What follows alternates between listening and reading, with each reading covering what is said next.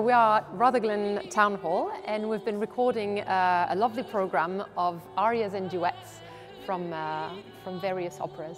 It's fantastic that uh, Scottish Opera have joined us this week. Uh, it's the first uh, project of this nature we've had since we went into lockdown a year ago. Ironically, uh, last year, 14th of March 2020, the last performance we had at the Town Hall prior to, to lockdown was, in fact, Scottish Opera with their Opera Highlight show. Uh, and as was the case previously when Scottish Opera visited a fantastically successful night, sold out, thoroughly enjoyable. Little did we know what was round the corner, uh, and as I say, the, not long after that, doors were closed. They've been closed ever since. Fortunately now we're able to, uh, thanks to funding in this instance from Creative Scotland, uh, we're able to put on projects such as this and welcome Scottish Opera back in a year later uh, to what will no doubt be a, a fantastic, fantastic film.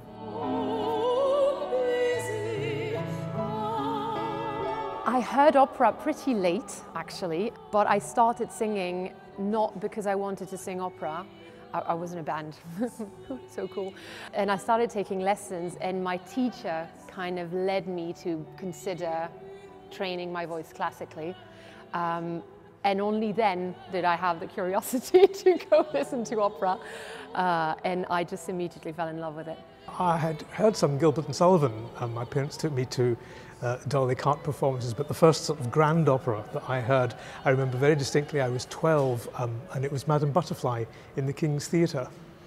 Um, and it was just amazing, I thought, um, because I didn't expect any of it to be like that. It was Madame Butterfly, it was in the King's Theatre, in Edinburgh. It was Scottish Opera. I was in the very front row and I stayed awake all the way to the end until she died. Spoiler alert.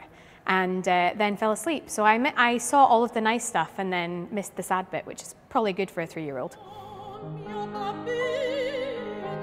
What does it take to be an opera singer? it takes a lot of patience. A lot of dedication. I think it takes a lot of perseverance it does take a while to, to, to train a voice. The vocal cords are two tiny muscles and, and singing actually requires the whole body and training that, making sure that all the muscles work well together and projection is good and resonance is good, there's no tension, that takes years. You hear these voices that are unmiked, there's no amplification other than the acoustics that they're in, other than you know, their body making this incredible sound. And I think that you can get some really like spine tingling moments. It's theatre, it's music, you get to work with so many different people. Obviously, there's also the whole technical side of it that the audience doesn't see and isn't supposed to see because it makes it magical. It's the combination of everything, the drama and the costumes and the, the whole sort of atmosphere that it creates, the, the storytelling where everything sort of combines to give the audience an experience that is unlike anything else.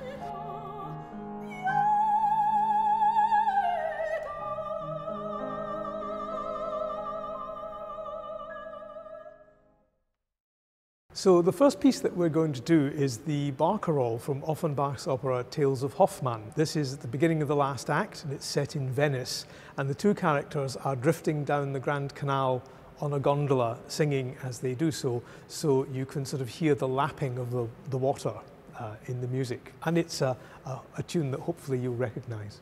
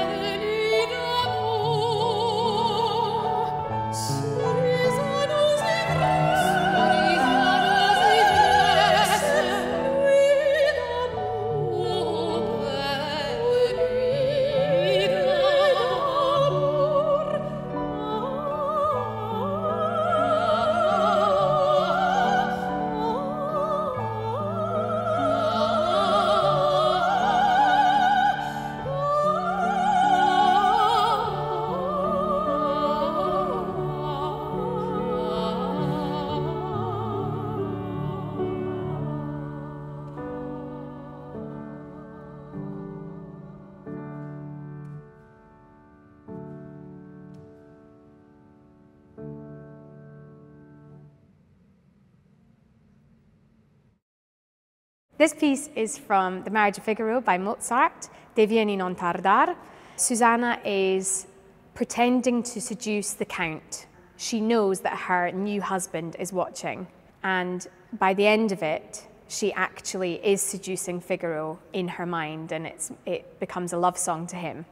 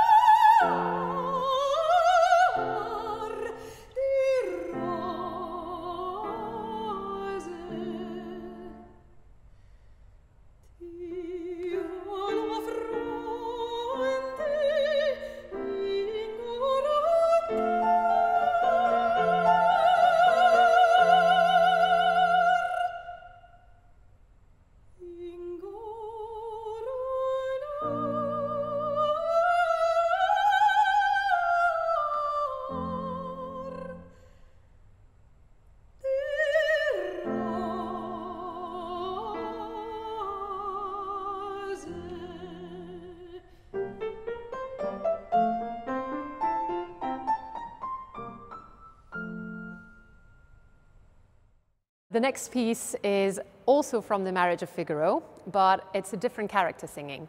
The character that I get to sing is called Cherubino. He's a teenager, and in this particular aria, he goes on and on and on about the effect that women have on him. I think he's just discovering hormones.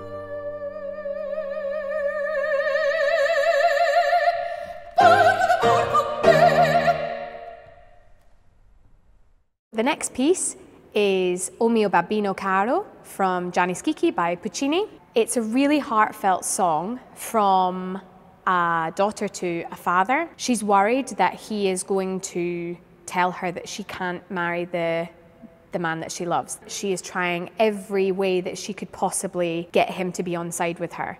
So there's a little bit of manipulation in there and she knows what she's doing to get him on side.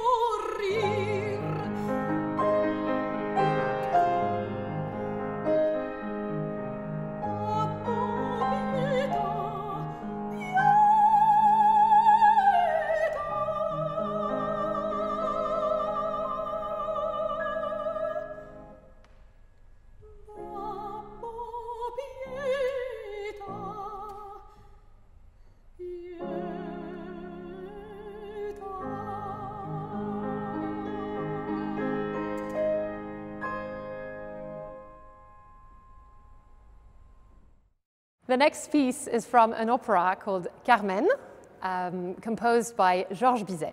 The music is gorgeous, first of all, and I think it's also it's also the, the, the strong female character. She really does what she wants, and she has many flaws, but she's free. And I think that's one thing that's really appealing.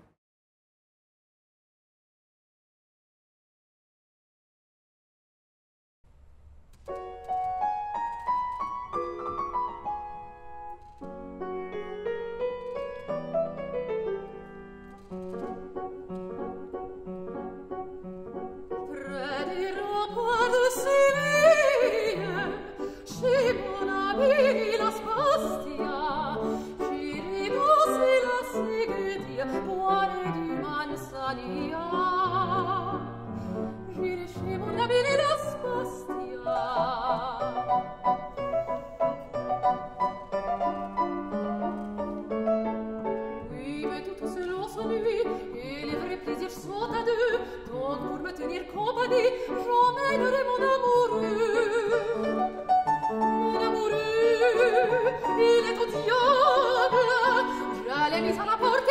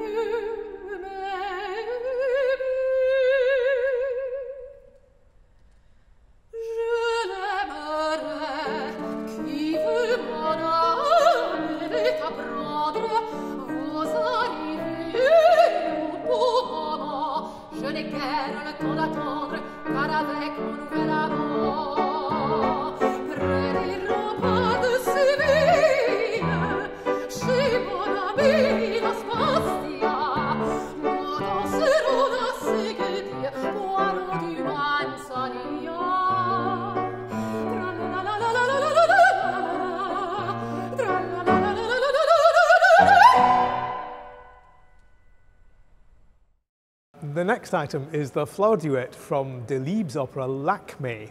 Um, and though you might not recognize the title, I'm sure you'll recognize this as the music for the BA advert. It doesn't actually have a great deal to do with the plot of the opera because most of the things that happen happen after this duet has taken place. The only suspicion that all is not well is in the middle section where Lakmé says that um, she feels some sort of premonition of something that's going to happen to her father, the Brahmin priest. Um, and she's not wrong, um, but that's after we've heard this duet.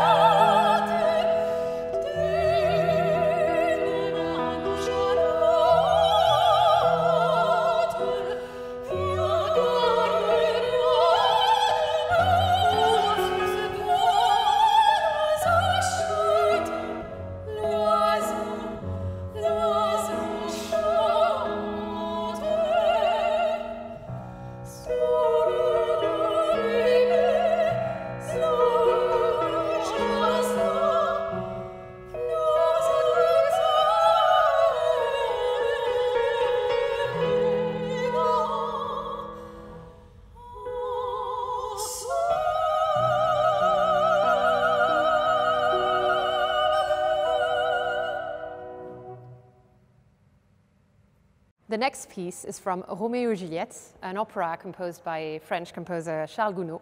And in this particular part of the, the piece, Stefano, who is um, on the Montague's side, so Romeo's side, uh, goes to the Capulets' house to sing them a very provoking and mocking song about a bird who's about to fly away from the nest. Obviously, he's referring to Juliet.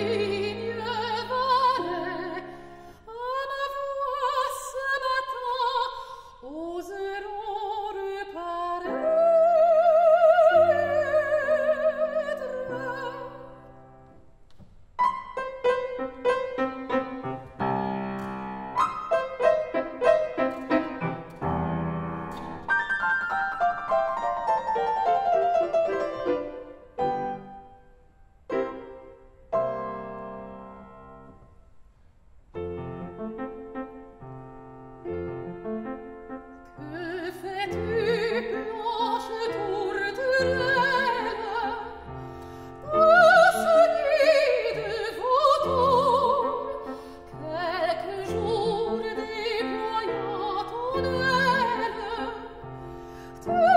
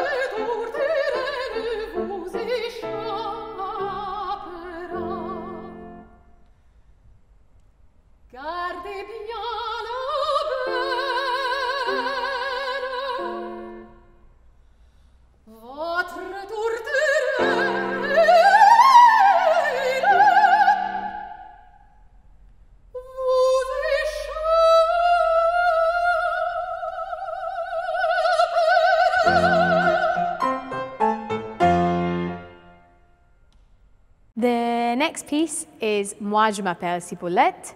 From Ciboulette by Reynaldo Hahn. It's poking fun at different women and saying, oh, prudes are called Gertrude, people called Adele are all um, faithful, um, but I'm Ciboulette and all the boys love me.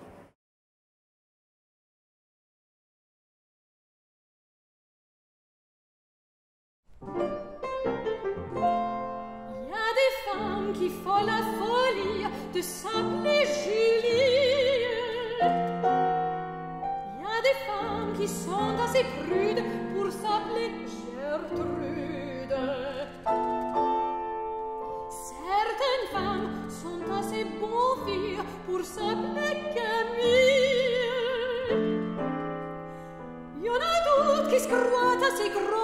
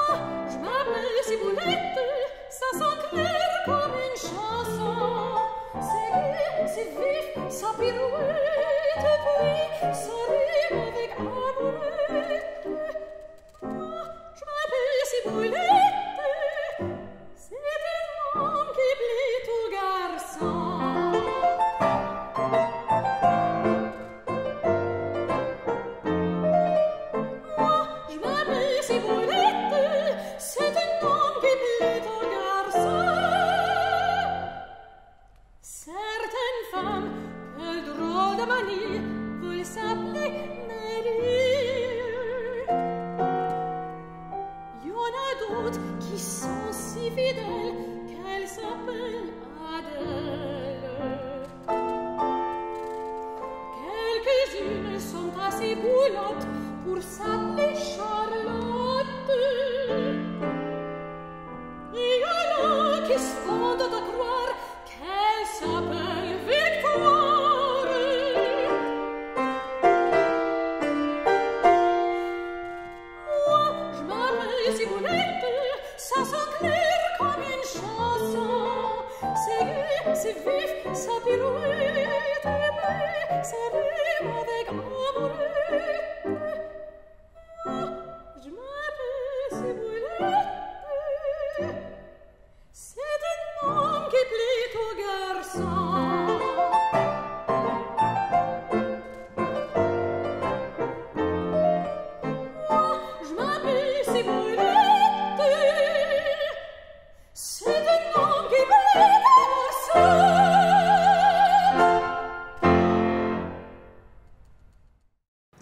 this next one is our final piece, and it's a duet from the first act of Hansel and Gretel, the opera by Humperdinck, which is based on the famous Grimm fairy tale. If you enjoy this, here's a plug, you can go to our website and see the whole thing, um, which we recorded just before Christmas. But at this point in the opera, Hansel and Gretel have been left alone in their parents' house. They should be making brooms, um, but they decide that they would much rather play and dance.